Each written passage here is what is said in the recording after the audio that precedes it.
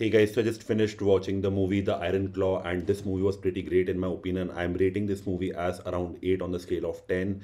Uh, there were a lot of good uh, story shots which have been taken in this movie, and overall, the storyline picked up pretty fast in the opening scene itself.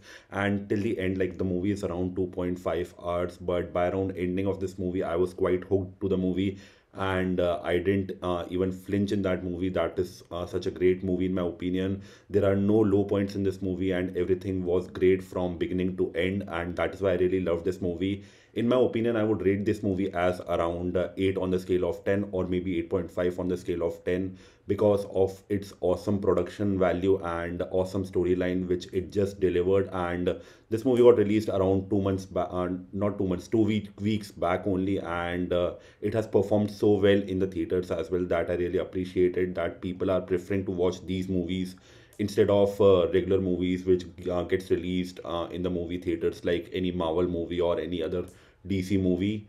And uh, yeah i do believe that this will do pretty good in the upcoming days as well. And do let me know in the comments below what do you think about this movie? Like did you enjoy it or not? And if not please let me know in the comments below why you didn't enjoy it. Thank you for watching. Make sure to like this video and make sure to subscribe our channel